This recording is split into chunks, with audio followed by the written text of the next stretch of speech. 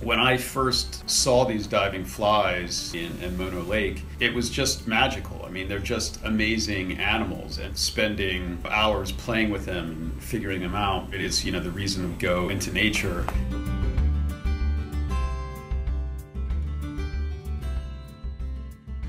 Takes about 16 times their body weight and force to, to get into the water. Most insects of that size walking underwater is just a death sentence, but they, they have no predator. So, you know, there's a little bit of food here on the shore, but if I go underwater, there's abundance of food.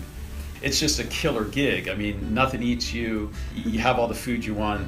It's just you got to solve this tricky problem. You got to dive in the hardest water in which to stay dry on the planet all insects make some specializations to make themselves hydrophobic. They cover themselves with little hairs, and as they walk under, you know, they're covered with this nice bubble, and they can walk around and they can just pop right back up. The Mono Lake flies, you know, just kind of like hipsters in Brooklyn. They have to get all the more hairy. They have to use a slightly different waxy coating in order to adopt this lifestyle where they can stay underwater, you know, forming these bubbles we had no idea what we were getting into when we started the project, but um, plunging animals into fluids and measuring the forces and all that kind of stuff is sort of in our sweet spot. But I, I, like not staying in the lab comfort zone. You know, there's there's just so much cool stuff going on out there